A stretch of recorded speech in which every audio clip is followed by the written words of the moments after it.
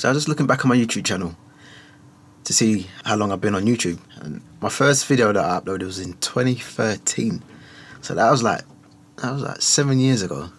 First video was a a beat, yeah, a beat that I made. So it was a beat video, and I don't think I posted my first actual beat making video till a year later. Yeah, just me making beats. And I was just looking back in it and just looking how I've progressed and how the thumbnails have changed and, and how I was doing my videos and stuff. And then looking back, it's like, oof. So I was thinking, the channel's currently sitting on 5.5k. I'm thinking it's a good time, especially yeah, lock, we're in lockdown part two. I know there's going to be a few people who want to start or have thought about making a YouTube channel, and now, well, now's a good time to.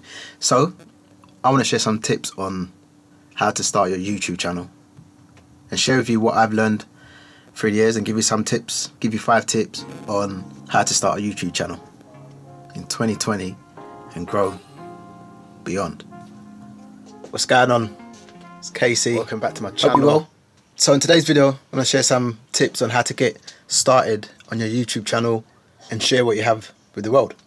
Lockdown part two, so we've got some time on our hands to put some work in if that's what you want to do. So I'm just going to share with you five things that take into consideration when you're starting your YouTube channel. But first, before we do that, I need to shout out my two new subscribers. Shout out Cliff Wallace Music Group and Esh J. Thank you both for subscribing. I appreciate that. Means a lot. And thank you for being a part of the community. It's much appreciated. Favourite comment for this week's coming from EAB Prod. Yep, that's exactly how it goes sometimes. You watch one video and then it leads on to others, which is exactly what I want to happen. So yeah, thank you for your comment, bro. I appreciate you. I hope you've all hit that notification bell as well, so you'd have seen your shout outs today. All right, enough of that. Let's dive into the video. So one of the first things to ask yourself is, why are you doing YouTube? Why do you want to be sharing videos on YouTube? Write this down, or just keep a mental note of why you're doing this. Because when it start, when you start to burn out, or you feel uninspired or unmotivated, then at least you can go back to it and get yourself back on the right track because you remember the reason why you, you started the channel in the first place. Tip two, what is it you're going to share on YouTube? How are you going to provide value? It could be through you doing clothing hauls, shopping hauls, vlogging, whatever you decide is okay because someone will find value from what you're doing.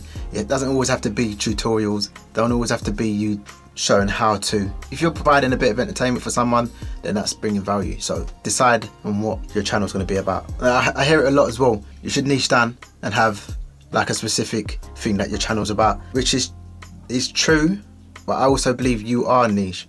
You you just being yourself and doing whatever you do to get through the day, building your brand, your business, that is a niche in itself. That's you creating content. So I feel like it's okay to have different videos because for me, I can't just be making beat videos, beat making videos every day because I just get bored of that. I feel like you need to have, for me, I just like to have different things going on. I can't just do beat making videos or, or just tutorials on Logic Pro because I'll just get bored of that. And I think that will come through in my videos as well. So that's why I like to keep things moving and trying different things. And so and I feel like it gives you a reason to come back to my, my, my, channel as well. But if you decide to do something that's completely different to what you normally post have make sure that it ties in. So when someone subscribes to your channel for a video that they've watched they're kind of expecting to see more of them type of videos. But if you want to incorporate other things then do that. You just have to find a way to make it all tie in, and that could be through vlogging or just doing live videos. Because you're a brand, so whatever you do is part of your brand, it's part of your channel. You're gonna need a channel name,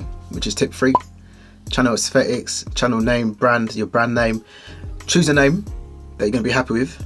You can change it. I started off with Case Wise and then went on to KC Sounds. I wanted KC Beats, but someone had that, so I went for KC Sounds because I felt like it. I felt like Beats were kind of just it would limit me. So if I wanted to branch out and do media, have like a media company or something, when KC Sounds would sound a lot better as a company. Well, that's what I thought anyway. So I've, I've gone with that. You're gonna need a banner. If you're good at graphic design, can create your own banner, or you can go to somewhere like Fiverr.com, which I use a lot for logos. I've used them for, for my banner. I've used them before for artwork, single EP artwork. The only thing is you have to go through and find out who's right for you, obviously, because there's a lot of people on there providing a service. So just go through, find who you gel with, contact them, ask them to make you a banner. You can put in your banner if you're having specific upload time. So, so when someone goes onto your channel, they'll be able to see when to expect videos, which is something I'll talk about later on. So with your channel aesthetics, you can choose probably, I'd say probably like three colors, your favorite colors that will tie in with your brand maybe two or three fonts that you use all the time. Looking back at my old videos, and the way I used to do my thumbnails, there was just all over the shop. It's something that I had to I had to go through and learn because I was just finding my style, finding what worked for me. So just find what works for you. Also, the pick that you use for your channel, if you can use that across other platforms, then that would be good because when someone sees that, automatically they'll know that it's you. So you don't have different pictures on all your, your socials and on your YouTube channel. Everything's just tying in. Everything's just tying in, which looks a lot better. The sections on your YouTube channel if you haven't got no videos already, it's going to look quite bare. But once you start uploading your videos, you can change the sections, create playlists, and make it look aesthetically pleasing. So when someone comes onto your page, it looks good. And they probably want to stick around and see what you got in your other playlist, and then before you know it, you got a new subscriber. So how are you going to record? How are you going to record yourself? You can use your iPhone, you can use your Android. Camera quality is good nowadays, so there's no reason why you can't. If you're just starting off as well, don't get tired and, or don't get bogged down into thinking, oh, I need to have the best camera I've spoken to a few people who wanted to start making videos and they're straight away thinking that they've got to go out there and, and get the best equipment. It's not about the equipment, it's about it's about just getting started and building yourself up. If you want to go out there and spend, uh, your budget allows you to spend a whole heap to get the best and latest equipment, then that's fine. I just think it's better when you start small with almost nothing and then you, you grow because people like to see progression. I do. I like to see the people progressing, starting from nothing and then working their way up because, yeah, I, for me, I just like an underdog. I like to see people progressing. If you want to go out there and spend a whole heap of money on new equipment, then you can do that. It's up to you. Right now, I'm using a Sony A5 A500 thanks to my stepdaughter. Cool little camera. Doesn't have no mic input, so I've got like a a workaround where I'm plugged plugged the shotgun mic into my iPhone and I use that and just sync the audio, which is another thing you need to bear in mind because good quality cameras, pictures looking good, quality is good and all that, but the audio is weak, then a lot of people are gonna just click off your video and, and find another one because the audio isn't matching up to the video quality. I've done a couple of mic reviews just lately on smartphone microphones and studio microphones which you can use for podcasting or recording YouTube videos. So check those videos out as well if that's something you're interested in. I'll drop some links below in the description box. Yes, they're affiliate links, but it don't cost you no more. It just helps me grow my business and grow this channel. If you're thinking of capturing your screen recordings, like you're doing tutorials and you want to show what you're doing on screen so you want to record that there's free software out there that I started off using so the one that I started using first was Screencast-O-Matic allows you to record 15 minutes of your screen. I can't remember if it has a watermark in it. I think it did have a watermark. There's loads of others out there that you could use. Do a bit of research, find some or find one that works for you. It's all about what works for you, what makes your life easier. What you will notice is when you start re recording videos and you start editing, you might try a software that you, you just don't get on with. You have to look around or you do some research to see which ones are being recommended and ones that you like. So you're gonna notice that when you use certain equipment, you're gonna outgrow it, you're gonna get bored of it, you might not even like the way it works. Going back to me using Screencast-O-Matic, I then moved on to Camtasia, which is cool. You can screen record and you can also edit the video so that you can put them on YouTube. But what I found with Camtasia is it crashed a lot. That it got a bit clunky. It felt a bit slow. So I done a bit of research. Because it's so slow, I started to get annoyed because I wasn't able to edit my videos fast enough for me to upload to YouTube. I spoke to my wife, she said, why, why don't you just research and see if there's any others out there? So I did. I don't know why I didn't think of that anyway. So I researched and I found one called DaVinci Resolve 16. This here is absolutely amazing and it's free. If you're looking for some video editing software that a lot of pros use, if you, you use the paid version, I'm using the free version, which is cool. And it's quick as well. Absolutely love it. So I feel like now, obviously there's a, there's a new workaround for me to try and get used to that because I've been using Camtasia for so long. But yeah, I highly recommend DaVinci Resolve. I'm not I'm not sponsored by them or nothing. And if they've seen this video and want to sponsor me, then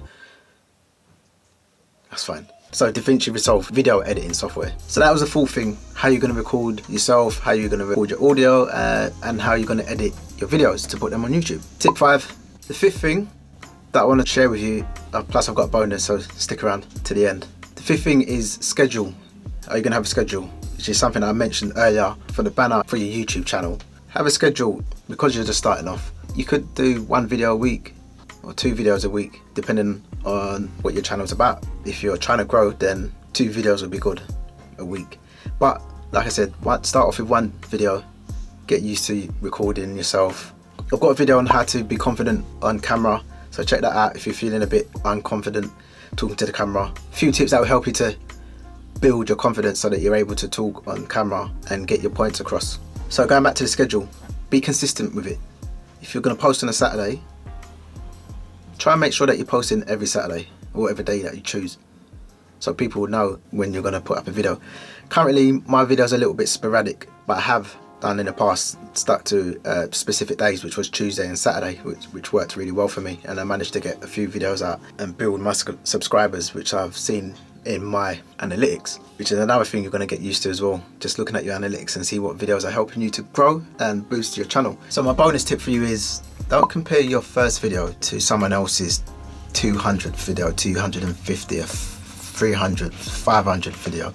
Just don't do it to yourself it's not going to do you any favors.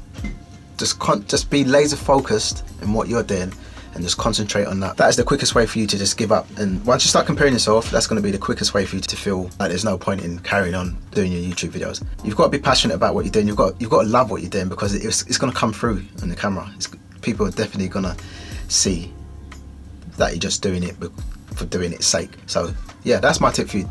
Do not compare yourself to others because you are you. You are unique you're special. what you've got is a gift. Share it. Share it with us. We want to see it. Your first few videos are going to look a bit, sound a bit off. Unless you come out the blocks firing, like you're just, you're made for this. And you just come out firing and all your videos just look superb. Your confidence is just through the roof. Then that's good. That's good for you.